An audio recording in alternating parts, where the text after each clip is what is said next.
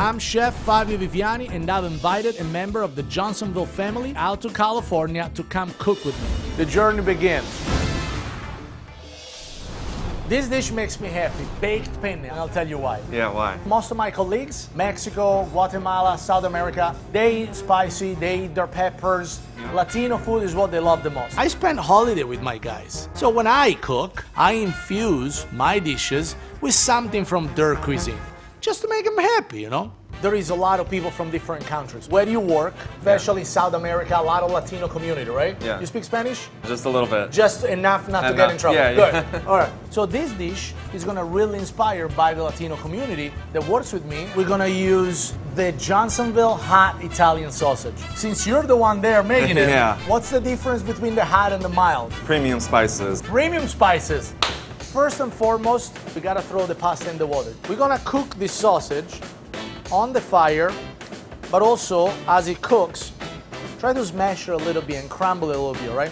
They have bell pepper. You can control the level of spiciness in peppers by removing or keeping the seeds. Oh, yeah, yeah. We have some nice poblano here.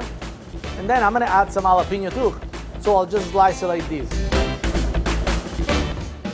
Pinch of peppers. Mm-hmm. A little bit of cumin. And some oregano. A little bit more oil. So now I'm gonna get some onion. There. Now I'm gonna get some garlic. We'll take this business to the stove. Oh, you know what? Hold on. A little salt. Done. So what's happening here is that the sausage, all the fat is rendering. You put the fat in there. There. We cook this for three minutes. Mm-hmm. The tomato sauce will be added in a minute. But I want to get some pasta in and get the pasta really flavored with Yeah, that. yeah. All right. All right. Smell this dish, man. Oh, it smells amazing. I love to kick it back with my friends. It's good to relax over a good meal.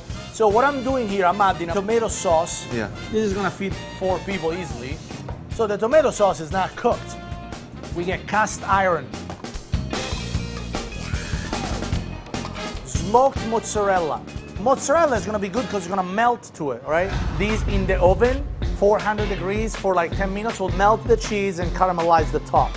Three minutes, four minutes, the mozzarella will be melting and just oozing through the pasta. All right, check this out. Yeah.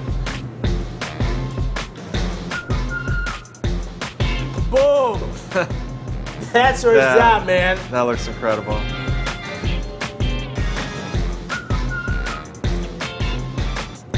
It's like a fajita on steroid. That's baked penne with peppers and smoked mozzarella.